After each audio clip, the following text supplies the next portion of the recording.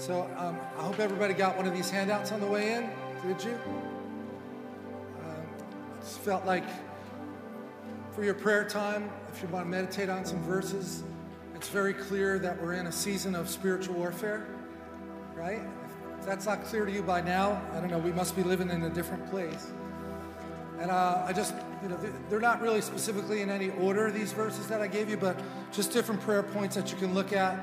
Um, we'll try to focus on some of these things as January and February uh, roll out.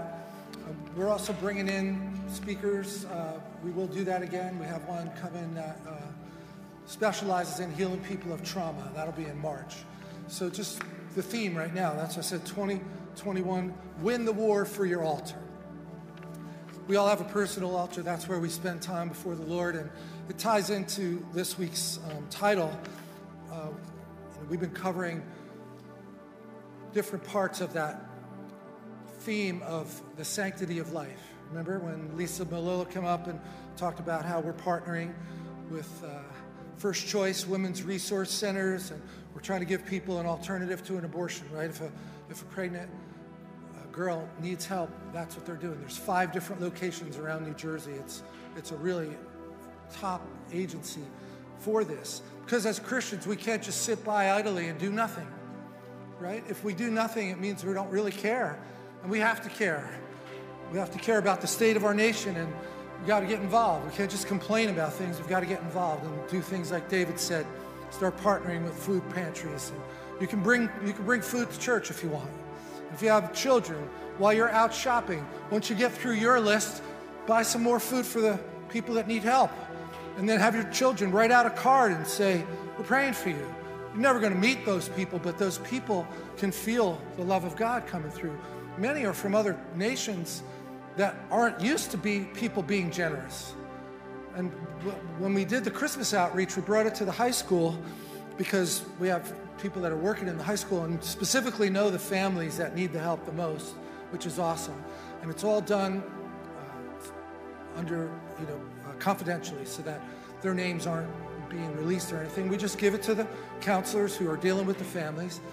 And one of the letters we got back from one of the students who was there helping said, We just got here from Asia and we didn't grow up in a culture that had any generosity. We didn't have any idea what you were doing. Why would you bring food for free? Because we take it for granted here that we're a Christian country, founded on Christian principles. As hard as the enemy tries to take those away, we're going to fight back. Amen? Say it a little louder, church. We're going to fight back. We're going to have free speech. We're going to, we're going to follow what the Constitution says and be a force for good. And, you know, maybe we got a little too lazy. Maybe we got too apathetic about getting involved. I don't think we should say, Jesus, hurry up and get us out of here. I think he said, occupy until I come. That we'll be busy about the Father's business. I have food that you don't know about, disciples. My food is to do the will of the one who sent me. Set captives free. Get people out of the mess they're in now. It's not just about waiting until we go to heaven, right? We have a job to do while we're here. And that's always going to be our philosophy. It's what we've done since the first day we came out here. Um, partly because Trisha such a has strong anointing in deliverance. We've been helping people with deliverance since the first day we started the church. I mean, she had a waiting list for people down in uh, Essex County where, where we were before we came out here. So God didn't give us these gifts to keep them up on the shelf. We're supposed to meet people where they're at and say, hey, God's going to help us get through this. God's going to use His power flowing through the church and flowing through Christians to see situations improve for the Lord. That's the way this works. And worship's a great thing that we did today. And that's why I put the picture of, of the guitar, me with the guitar, because this comes out of Proverbs uh, 25 2, the, the text verse for today. Um, I called it living in the hiding place of God's glory. All right? That's a typical Passion Translation kind of phrase, right? The hiding place of God's glory. Wouldn't you love to live there? What's your address? The hiding place of God's glory. that's where I live. And people are like, well, that's not practical. I have to go to work. I'm, I'm a busy guy. I'm too busy to pray. Don't say that. You're too busy not to pray. we just might mean something differently when we say pray. Like you think you have to just block everything else out and go and have your list ready and, and, and beg God. You don't have to do that. That's nothing wrong with bringing a list to God. But what about just inviting Him into every situation during the day? He cares about everything we do. So why wouldn't we ask Him? I'll tell you why. We're not used to people helping us. Maybe we didn't have a good father. Maybe our father or mother just was too busy to be bothered with us. And sometimes we translate that to how that's how God looks at us. Can we break that lie right now? That is not how God looks at us. He never slumbers, He never sleeps. Whatever's important to you, it's important to Him because you're His child. And we have the spirit of adoption in us that cries out, Abba, Father. That's a very intimate term, Daddy. And I don't know about you, but I didn't have that picture of God when I was growing up. So it's something that we have to be very intentional about. This is one way to do it. I'm going to live in the hiding place of God's glory. It's not just a special service when we come to church, it is wonderful to all be together and worship together like we did today. I didn't want to stop. I was saying to the guys in the back, I love it when I take my earplugs out and my ears are numb. Because I'm sitting basically right on top of those drums. And don't we like having real drums back, church? Yes. Got to thank the guys in the booth. They work really hard. And uh, go ahead, give them a hand because that's an important job. Um, so the, the, actual verse uh, that that comes from, that that title comes from, is 25:2 in the Passion. God conceals the revelation of His Word in the hiding place of His glory. Okay, that takes us up to a whole other level, right? Because then it says the honor of kings is revealed by how they thoroughly search out the deeper meaning of all that God says. All right, we're kings and priests. And we don't just sit back and wait for God to do it. We are diligent seekers after God, right? That's Hebrews 11. God rewards those who diligently seek after him. So, right after God conceals the revelation of his word in the hiding place of his glory, it's because we need to go there with a sober mind. We need to ask him, Lord, you said we were kings and priests, and the honor of kings is revealed by how they thoroughly search out the deeper meaning of all that God says. And I think most of you that have been saved any amount of time know the longer you're a Christian, the more you realize it's an endless treasure of truth. Fair enough? The Bible? You could read it and go back and read it again, front to back, and find all new things every time you go back through it. It's the revelation of God, but it's also that you're maturing. And as you mature as a Christian, you look at that verse and you see it differently now through more seasoned eyes, don't you? And you know, one of the reasons people don't like to read the Bible is because it's very convicting. you know, we see how we're supposed to live, and then we look in the mirror and we realize we fell short. And instead of just humbling ourselves and getting down on our knees, we say, Yeah, I think I'll read the sports page. What's going on in the basketball playoffs, right? Like, you know, you just keep putting it off. Maybe I'll go get my teeth drilled because I want to avoid that conviction that Holy Spirit brings. Like, no, it's not. The honor of kings is revealed by how they thoroughly search out the deeper meaning of all that God says. And I'll just draw a comparison because you all know that I'm still in the workforce and I'm always on appointments and going to meetings, but many unsaved people who are successful because, you know, our firm helps them invest the money. So they're typically successful people. That's how they got the money, right? And, and it's very black and white, very down, you know, get to the point. What do you got? you know, you'll walk in, what do you got? Like, hurry up, get to the point. And, um, you know, that's not how God is. But why wouldn't you pray before you go in there and say, Lord, I want to know exactly the right words to say to this person because I believe what I can do is going to help him. I'm not trying to sell him something. I believe that the services that we have can help them, but I want to do it in a way that he can receive it or she can receive it, not just my standard pitch, right? Nobody wants to be pitched. They want you to care about what they are, what, what, what their life is about. They want you to listen, right? You know that saying, people don't care how much you know until they know how much you care. That's missing in our culture right now, isn't it?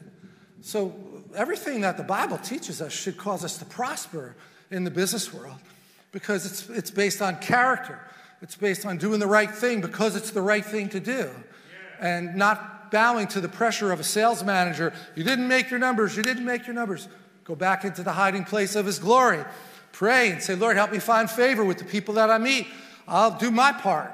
I'll go out and, and go on the appointments, and I want you, when I open up my mouth, I want you to speak through me, right? So, verse 28 is kind of like this picture of a life without prayer.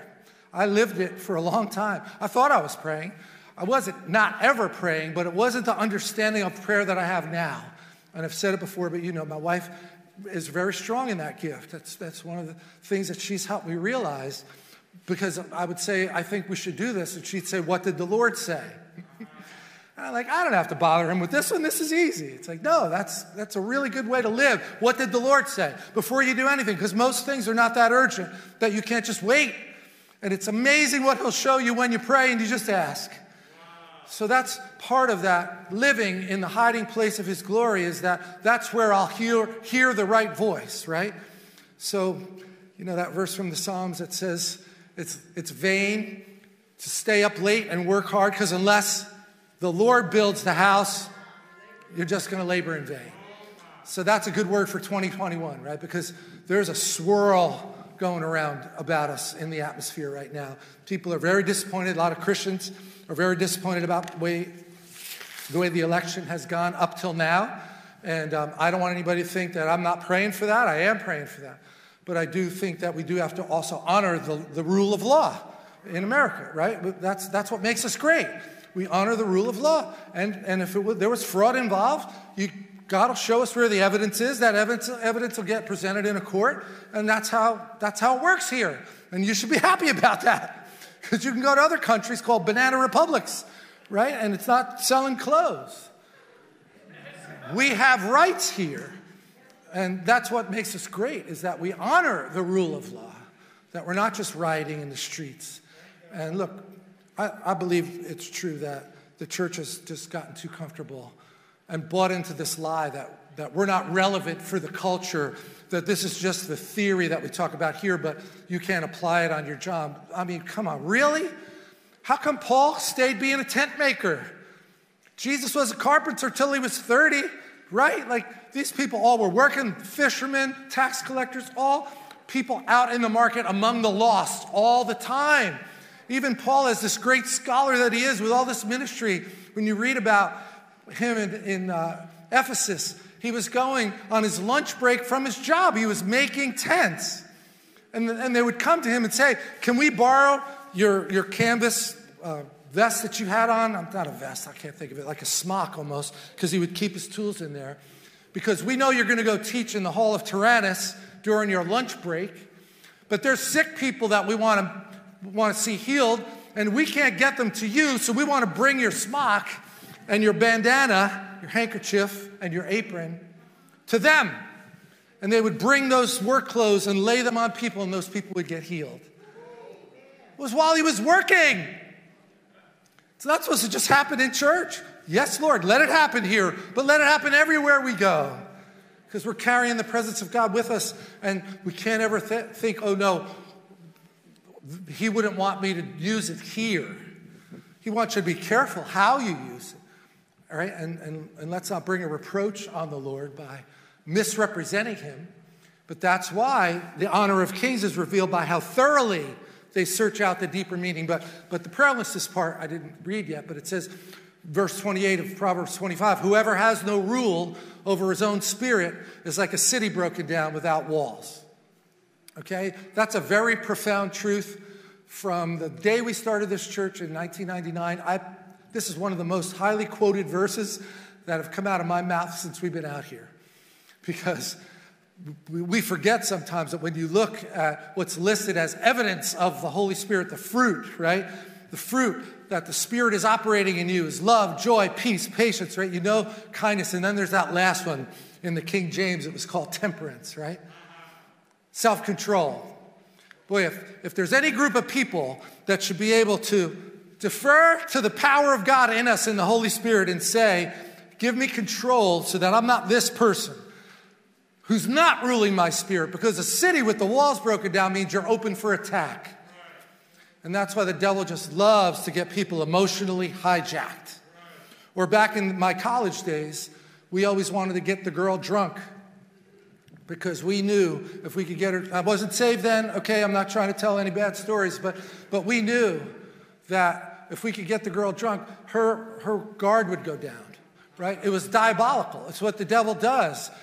You know, whatever. I won't go into that. But look, the devil will twist all the desires in our heart uh, to, the, to the ungodly side. Desires aren't bad, they just have to be under the rulership of the Lord. Right? That's what James says in James chapter 1. We, we fall because we're drawn away by our desires and enticed. But the desires aren't bad in and of themselves, because what about William Wilberforce? He had the desire to see slavery end in England. That's a good desire. It took him 30 years against all odds. Three days before he died, he saw it happen. Amazing. So it's not the desires that are bad, it's are they sanctified? Meaning, have they been put through the lens of Scripture? Have, have we lived it out? Have we walked it out among other people? Like, who, who would you ask for a pastoral reference? And what would they say? Right? That's a good way to think about this. Like, what's my reputation? Am I late every time I'm, I'm called to a meeting? Well, okay. I mean, that's not the end of the world, but it's probably not the highest standard that we would want to live by, right? How about your boss? What would your boss say in your annual review? You got a tude, man. Got a bad attitude. No, I don't want that. I'm a Christian. I'm supposed to be carrying the Holy Spirit with me. I don't want to be hijacked by emotions and say things they're going to use against me later. So, Lord, help me not be this guy who I have no rule over my spirit and then I'm open to attack. So I go into that hiding place of His glory and I say, Lord, I really need help in this area because I'm getting all riled up about whatever this thing is. Or the, the betrayal that happened, or somebody said something on Facebook and accused me of being whatever. That's where you go into that closet of prayer and you say, Lord, remove these wicked thoughts from my mind right now. Because we can think of some pretty ugly things to do to people, can't we? and just because you didn't say it doesn't mean it's okay. All right, you'll get honest with me here in a minute. so, right now, part of this huge swirl and the disappointment is that we understand that the, the Democratic platform is not pro life, right? That's very obvious. It was stated right from the beginning. And we are pro life, okay? Can we just say that? This church, we are pro life. I can't find any other opinion to have after reading this front to back God really cares about life. And we believe it starts when the first two cells are joined together because we're created in God's image. And it's amazing that we know that up here, but when we're speaking badly to somebody else, we forget that they're made in God's image too. So there's this trap that we can fall into that we're not really using the best language that we could be. Excuse me. So remember when they, they confronted Jesus in Mark chapter 12 and they said, Is it right that we should pay taxes, right? The temple tax. And he said, Bring me a coin. Whose image is on the coin? Remember this? And they were surprised by that answer. It said, he said, just give unto Caesar the things that are his, and give unto God the things that are God's. And he could have said, Whose image is on you? You're made in God's image. So you're supposed to give yourself to God. Yeah, you can pay the tax to the temple, but you better be making your offering of your life up to Him. That is, if you want to prosper and succeed and, and have favor in your life, it comes through obedience. So we can't take a stand for pro choice. We think that the rights of the unborn child override the rights of the mother because the mother went into it. Now, look, I know if it's rape, and I'm not trying to step on anybody's toes, I understand that there's a lot of variations on what we're talking about here, but in general, okay? Just in general, for the massive majority of what we're talking about, it's we don't believe that that's a godly principle. Nor do we believe that our young children should be getting a curriculum in school that says they can choose whatever gender they want, okay? No, sorry. Really? Like so much of, of being a Christian is taking your identity first as a child of God, like you said, I think a little earlier, right? uh, Rich, was it you? I don't remember.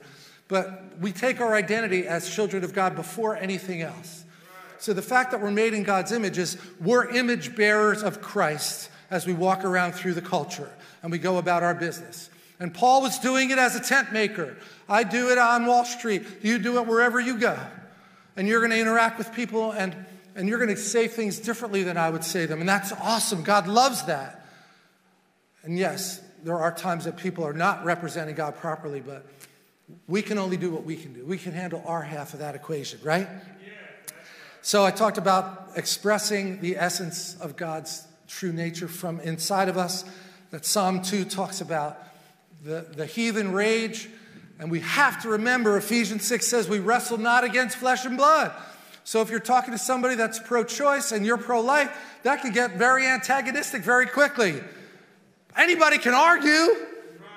The harder way to live is doing it in a way that you can interact with people and do what Jesus did with those Pharisees over and over and over again. When he met a sinner, he didn't just shame them. He interacted with them, he got a relationship going, and then he gave them the truth in a way that they could understand it. Why? Because he prayed. he lived in the hiding place of God's glory. And he's the King of Kings, right? It's the honor of kings to search out the matter. God hides it in the secret place, and then we go search it out.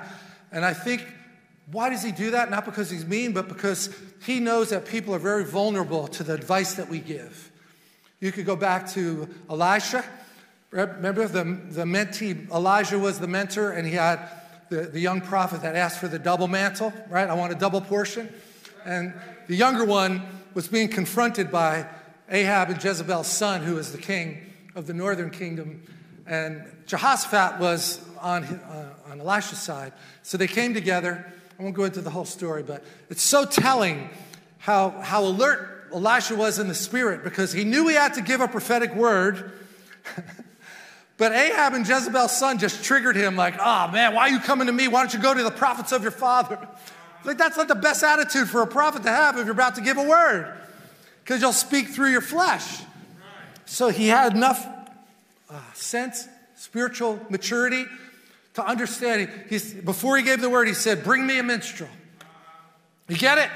I've got to get in the hiding place of God's glory before I release this word. Because in my condition right now, if I release it, it's going to be God. It's going to be my soul. It's going to be the flesh talking. This is every word that we speak should be filtered through God. Oh. Anybody want to leave right now? Sound like too much work? No, it's, it's a privilege that we have that He gives us. Says in Hebrews 11 that every one of the people that were listed in the Hall of Faith, none of them saw the promise fulfilled, and yet they lived it out because they, they had a dream of going to a better place, a better resurrection. Another day's teaching, but look, we do have the Spirit in us.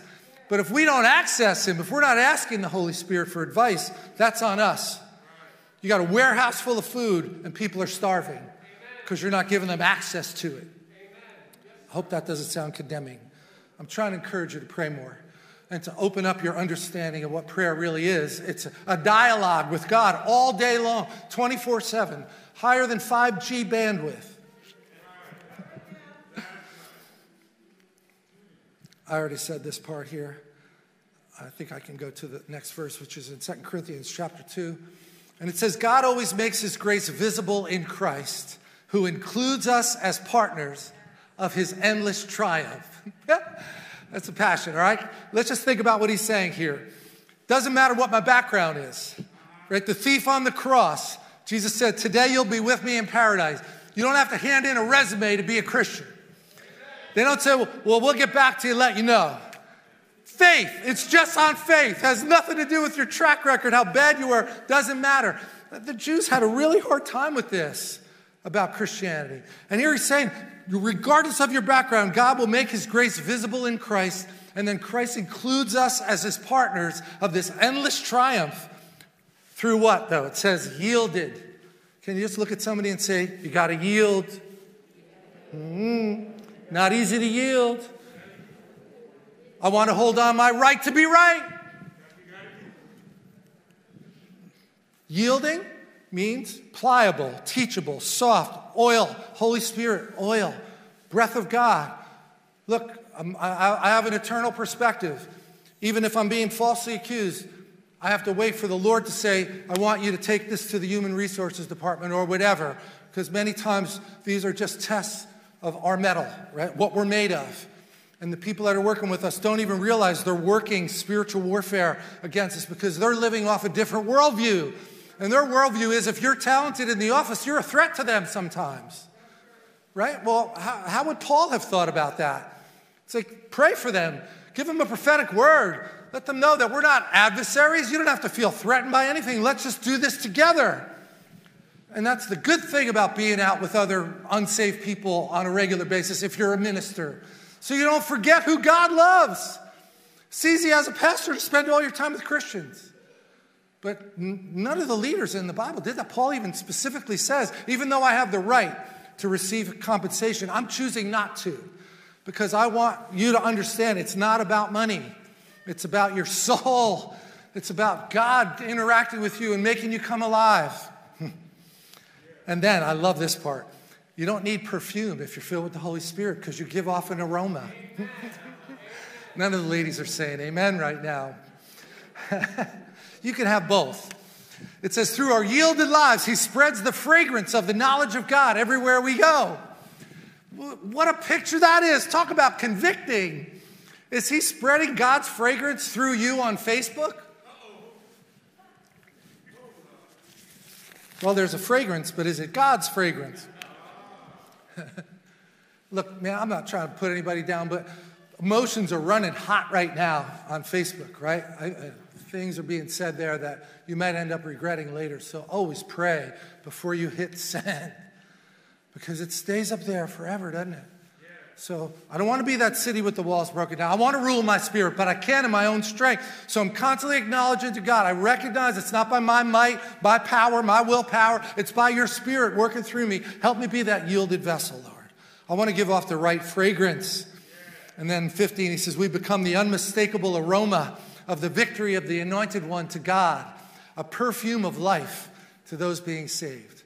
And it can be convicting. You know how the rest of that verse goes, probably that to those that are perishing, it doesn't smell so good because it means that they're going to have to change their life. So I want to just take a few select verses from Psalm 73 because I think it really addresses some of the practical issues that we face. Because we do have emotions, we do have feelings. And look, we've never lived in, in a society where there was so much available information. But you'd have to say, not all of it's reliable, right? So you end up finding you know, something that looks good and they're, they're feeding you information, but it's not what it appears to be all the time. So you really need to pray and ask the Lord, is this legit? Should I be spending my time on this? Because you can get so hooked on something, you're spending more time reading about the politics than you are the Bible. But the politics will be ever changing. This never changes. And the more you spend it here, the more you'll know how to apply it to what we're dealing with in the culture. I'm not saying it's not important. I mean, we've been talking about Lance Wallnau for 20 years since we started.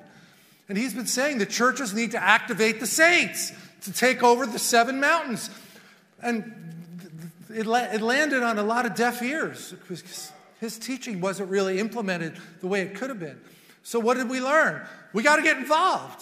You can't just complain about it, but you can get on a local school board. You can run for office. You could say, I want to bring the, the biblical principles, which are all grounded in truth, but you just need to be a reliable person. And I have to say, if you're not willing to do that, then support somebody who is, who's a Christian. And if you're not willing to do either one of those, then you don't really have much of a right to complain. You should be doing something about it, right? Okay. Psalm 73, verse 1. God is really good to Israel. Somebody say amen. That's right. We all know that. God is really good to Israel and to all those with pure hearts. But I nearly missed seeing it for myself. And he repeats it in verse 2 I narrowly missed losing it all. Verse 3 I was stumbling over what I saw with the wicked. That's a word for right now. Okay? Be careful that you're not stumbling over what you see with the wicked based on your definition of the wicked, right? And that's fine. You should be discerning and we are supposed to test the spirits. But don't let yourself stumble because of that. Ask the Lord, continue to build me up in my immune system so that I can keep that clear word. Bring me a minstrel. I don't want to act out of my flesh.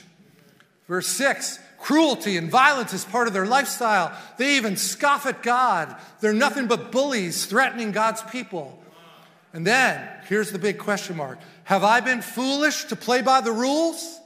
and keep my life pure? That's the devil. Planting that seed. It doesn't pay to serve God. Look what happened. You prayed, you prayed, and nothing. You didn't see the result you wanted. So don't bother. No, no, dig in more. Double down. Ask for a double portion. And then verse 16, oh, just what he said, I'm about to stumble. He says, When I tried to understand it all, I just couldn't. It was too puzzling, too much of a riddle to me. Anybody feeling like that here? I would really like this to be prayer together. Stand if that's you. Like you're just feeling in this swirl of confusion about everything that's going on right now. It's okay. There's nothing to be ashamed of. You're not admitting any kind of weakness, you're just being honest. So, Lord, we just thank you for those that are standing right now. I really understand how confusing the whole thing has been for me, for sure. And, and we say, we know that's not your will. And we ask you for the strength right now to come into our hearts. That song we sing, even though I'm in the storm, the storm is not in me. We speak peace to the storms of confusion. And we say, life and godliness and the peace of God to rule and reign as the governor of your soul. And just like this man in, in verse 16, he said, When I tried to understand, I just couldn't. It was too puzzling, too much of a riddle to me. But look what it says next. But then one day, I was brought into the sanctuaries of God. And in the light of glory, my distorted perspective vanished. So I speak that over you. I speak that over you. That the distorted perspective that the world's been trying to feed you will vanish and that you will come into the sanctuary of the Lord. And that peace of God, that presence of His Spirit, will bring rest to your soul. That's what I said earlier. We are prisoners of hope. Jesus Christ is the anchor of our soul. And if we're hijacked emotionally, we can't be effective as effective for God. Amen? So we know this is His will. I'm claiming it's done in Jesus' name. Amen. Oh, this is so awesome that no matter what we're going through, that when we get brought into the sanctuary and we tune into that hiding place of God's glory, that's what he's saying. When I, when I was brought into the sanctuary in the light of glory, my distorted perspective vanished. I got the reality of the truth of the Word of God, taking away those twisted thoughts and my distorted perspective. And then I understood the destiny of the wicked was near. When I saw all of this, this is a pretty convicting verse. When I saw all of this, what turmoil filled my heart piercing my opinions with your truth. Careful with your opinions if they're not lining up with the Word of God. Well, I don't want to pray for this president. Wait a minute.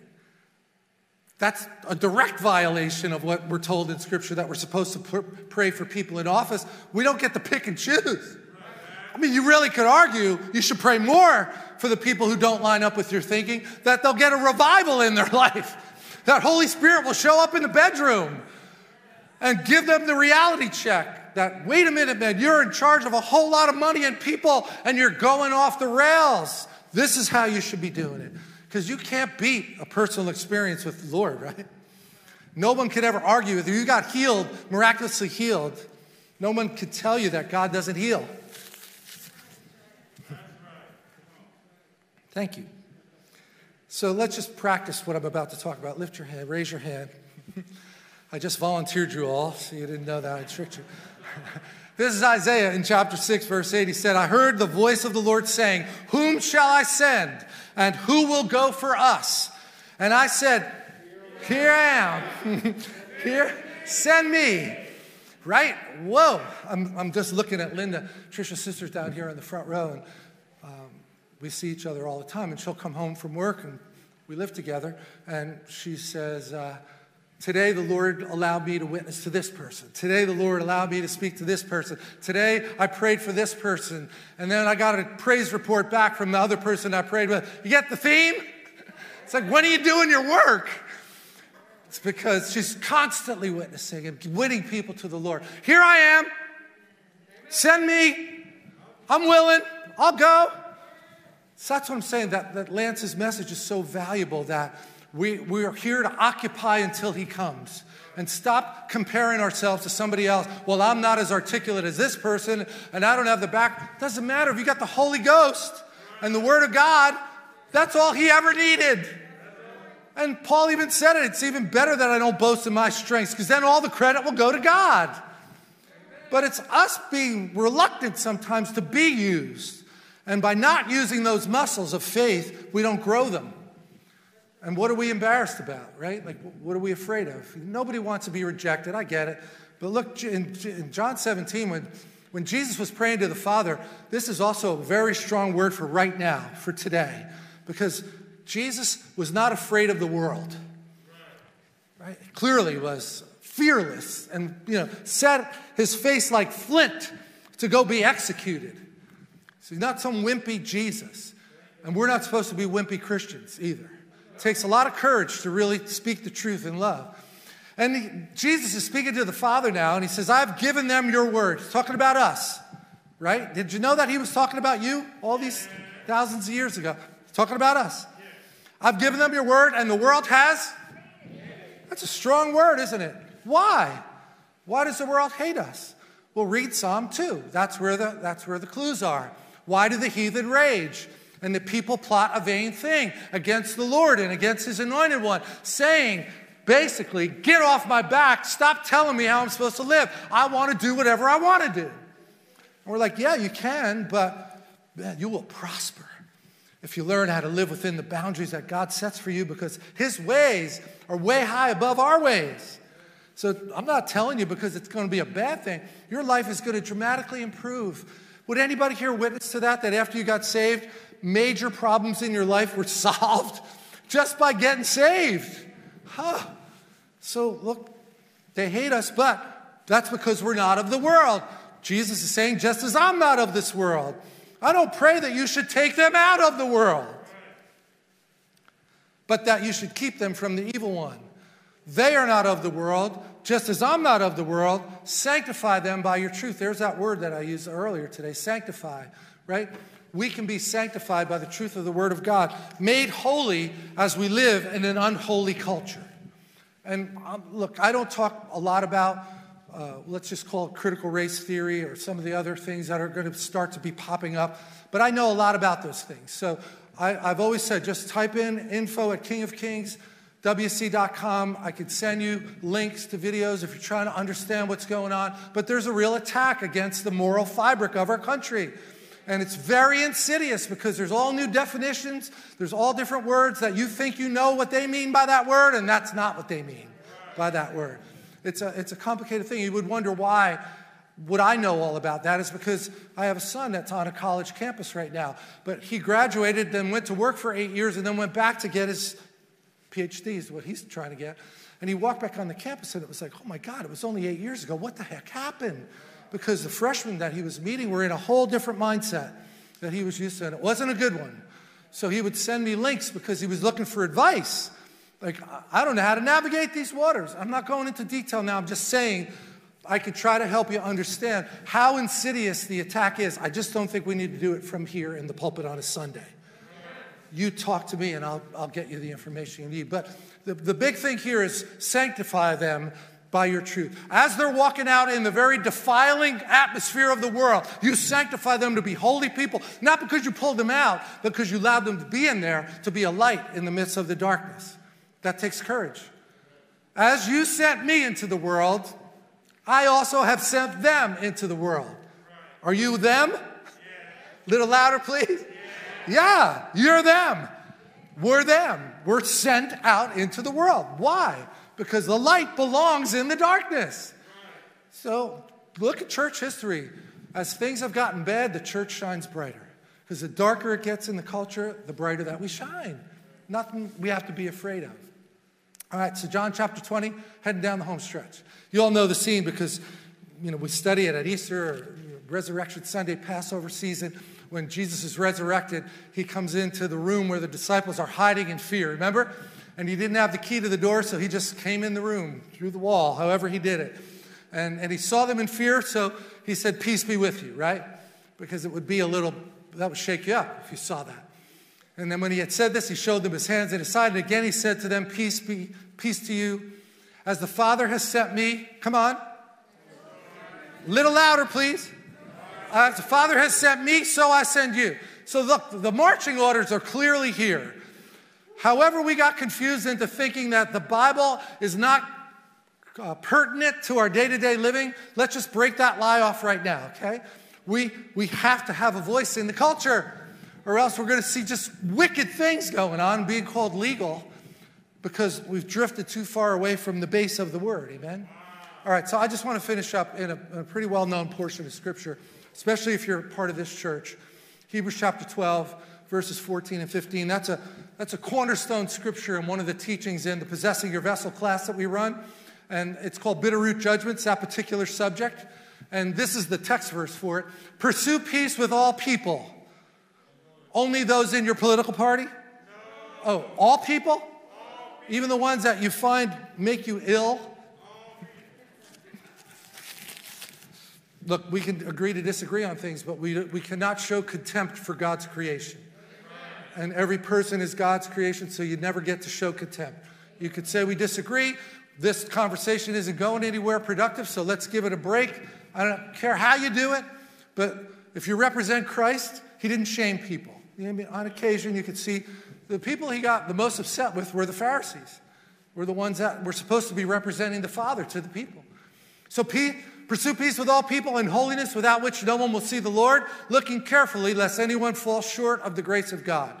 Ooh, big one right there, right? So if you don't do that, you'll fall, fall short of the grace of God. Just as God extended grace to you, you're supposed to extend grace to other people. That doesn't mean you ignore the facts. You speak the truth to them in love. You pray and you ask the Lord, I have no idea how I'm going to crack the code of this person because they seem so confused. Here it is. Don't fall short of the grace of God, lest any root of bitterness springing up causes trouble, and by this many are defiled, become defiled. Do you think this is for today? Are there, are there bitter roots springing up in people? Oh my God. It's the worst I've ever seen uh, on a cultural basis. People just getting hijacked emotionally. That bitter root that springs up in a Christian defiles many people because we're getting demoted from our place. As the Father sent me, Jesus said, so I'm sending you. The prince of the, of the earth is coming, the prince of this world is coming, but he has nothing in me, Jesus said. Remember? What about me? What about you? Does the enemy have something in me? Well, if we let this root of bitterness spring up in there, yes. Will we be as effective? No. Was Jesus always effective? Yes. So we live in the hiding place of your glory, Lord. And then just going to quickly run through a few verses in, in Matthew chapter 7, which we know is the Sermon on the Mount. And again, you know, we use it in that um, same class, possessing your vessel, but it's good. Even if you've heard it before, just allow the Word of God to just come in you and, and soak in you a little bit because there's a verse in here that could be misused in the context of this teaching, right? Don't cast your pearls before swine. We've all probably heard that verse. It doesn't mean the person that disagrees with you is a swine and that you're not supposed to give them the Bible. Because that would be really contrary, wouldn't it, to what everything we know about Jesus. So if it doesn't mean that, what does it mean? I'm going to just unpack it quickly for you so you have a, a relevant way to use this. It means that God is a relational God. Right in the Trinity, we see a relationship between the Father, the Son, and the Holy Spirit, right? Why does he say, don't forsake the assembly together with other unbelievers? Because there's something powerful when we come together as a family. Why do we call each other brother and sister? Because in the early days of Christianity, they were leaving their family, they were being rejected, and this was literally like their new family. And we've gotten so far away from that, and we get so fragile about things. But no, look, we're here for a reason. And the reason is to shift the culture. So, in these few verses here, he's giving us a really important formula to help crack that code of how to talk to people you disagree with. Uh, it's a supernatural gift, okay? It doesn't come natural or easy to us. Judge not that you be not judged. Anybody here think you don't judge people? Good. No hands are going up for those of you uh, at home. So, if he's telling us not to do it and we know that it's an easy temptation to fall into, then we have to be intentional about this. It doesn't mean don't be discerning. We do have to be discerning. But that's different than judging because in the text here, the context of this word judging is think less of the person and devalue them. And like I said last week, don't ever say they can't change. They'll never change. That eliminates God from the picture. You can't eliminate God from the picture, so you can't say they'll never change. Because, right, how many stories have we heard of Muslims having Jesus appear to them in their bedroom at night and they're getting saved? That was Ravi Zacharias' story, pretty much, right? So, look, you can't say they'll never change. They might be stubborn, but so was I. Don't judge them so that you won't be judged, because with the judgment you judge, you will be judged. That's a reciprocity. So, God was forgiving of your mistakes. Maybe we should be forgiving of each other's mistakes. Doesn't mean don't tell them the truth, but don't judge them. For with what judgment you judge, you'll be judged back. And with the measure you use, it will be measured back to you. Why do you look at the speck in your brother's eyes, but you don't consider the plank in your own eye? Now, I know you all heard this, right? But this is a very present help verse in this time of trouble that we're in right now, right? Look in the mirror before you look out the window. that's from the book Good to Great. That's not my uh, original thought. But that's, that's what the author said. The best leaders look in the mirror to find out what's my ownership in this before they look out the window to blame everybody else for the problem. Right? That's our job. That's what Jesus is saying. You can't focus on the speck in your brother's eye until you look at your own things and your own issues here. And then he calls them hypocrites, right? How can you say to your brother, let me remove the speck from your own your eye and look, a plank is in your own eye? Hypocrite. First remove the plank from your own eye, and then you'll see clearly to remove the speck from your brother's eye. Now, I know that sounds a little theoretical, but here's the deal. You should be one of the best listeners anybody ever met in their life. Why? Because you're a Christian. And why then? As a Christian, you have Holy Spirit. And why then? Because you pray and you spend time in the hiding place of God's glory. And every person you look at, you look past the package, you look past the language that they're using and say, Lord, show me what you see. When, when you look at this person, give me a prophetic word for them. Give me a word of wisdom, a word of knowledge. Let me pray for something that they wouldn't expect I would even ask them to pray about. Right? That's all the tools in the toolbox. But if you don't go open the toolbox and you just go loser, right? That's what they used to do uh, in high school kids. I don't know if they still do that anymore. When does Jesus do this? Aren't you glad? He didn't do it over you. Could he have? Yes. He didn't give up on me. So that's this tricky verse now. Don't give what's holy to the dogs or cast your pearls before swine, lest they trample them under their feet and turn and tear you to pieces. Now, I know that's a hard verse because it seems like there's only one way to look at it, but I would say the key is how you look at the word pearls, okay? Because a pearl would not be edible to a pig lest they turn and tear you to pieces. See, because you are edible to a pig. so, the pearls, in the context that I believe this is saying, is that you're trying to give somebody a sermon. You're trying to lecture somebody on how they're supposed to live because you think you're better than them. And that's a way of showing contempt for people. You didn't take the time to build a relationship, and they're not able to hear what you're saying because they feel like you're lecturing them. And it's like the old uh, Charlie Brown. Remember that? the teacher in the front of the class, they'd shut you off. It's like, who the heck are you to try to lecture me? You don't even know me. You don't know anything about me. You never took the time to even learn anything about me, and you're coming here and giving me these lectures. So, the, the, the way you start is by building a relationship, and that comes through prayer. And you say, Lord, I really have a burden for this person in the next cubicle or whoever it is. In my last office, it was the cleaning lady you know, the people that were coming in after the office closed, there was a whole crew of them, and they most only ever spoke Spanish. Like, you think they're less important to God? No. Every person. You can't even put a price, right? So I, I'm going to skip the rest of the deeper part of that. I guess you could go deeper on it, but as long as you see this as pearls being the wrong language to the right person, don't do that. Don't lecture people, okay? You with me? I can't tell with these masks on, man. All right, thank you. You could use your voice. So, what should I do? If I'm not supposed to lecture them, what should I do? Ask. That's called prayer. Ask. What does God love the most? People. How does He want to get to those people? Through people. So, the best chance they have of having a revival and getting delivered from drugs and all those cool verses in that song that we sang today, right?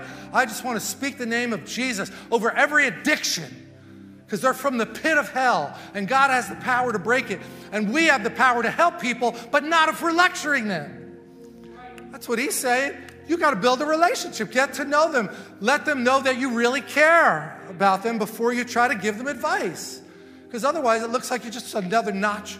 I got somebody to say the prayer today. I'm a great evangelist. No, sorry, it's way deeper than that.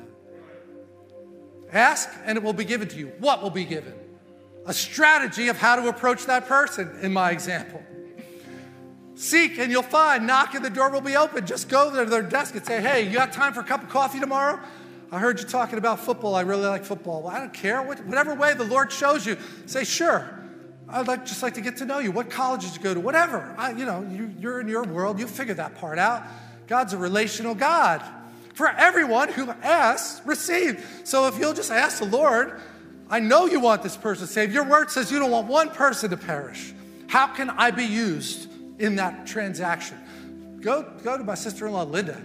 She could write a book about witnessing to people on your job. It's amazing how many lives have been touched. Everywhere she goes, she leaves with more Christians there when she's leaving than when she got there. Isn't that amazing? What a gift. It's all because she practices. She's really good at it because she uses those muscles all the time. What man is there among you who, if his son asks for bread, will give him a stone, or if he asks for fish, will give him a serpent? I'm God, he's saying basically here. If you even know how to good give, give good gifts, and you're asking me of how to help somebody know me better, you don't think I'm going to tell you? Are you kidding me? And how many miracles we've heard. I, I was just watching one again because this guy, Mike Hutchings, that's coming, uh, powerful deliverance ministry. And he was at Randy Clark's meeting teaching, and during the prayer session, uh, there was a bunch of interns there. We're, we're at the Supernatural School of Ministry, and we have a man that attends our church that was the guy that went up for prayer. And there was an absolute miracle that happened, a complete healing from horrendous accident that he had. We should give the Lord a hand for this, okay? Complete healing. Miraculous. All from a prophetic word that a student got that never met him before, didn't know him, didn't know anything about it. Because you don't even really have to know too much of the details of the thing they need prayer for. God knows already. You just act in the middle, you're a conduit. You allow Him to pour Himself through you. So it's all just ask. He's not going to give you a serpent. I, I already kind of quoted it. If you, being evil, already know how, good, how to give good gifts to your children, how much more will the Father? Therefore, whatever you want men to do, why don't we stand? This is a good verse to end on. Whatever you want men to do to you, do to them. Man, really? Whatever you want men to do to you, do to them. That's the golden rule. Treat other people the way you want to be treated.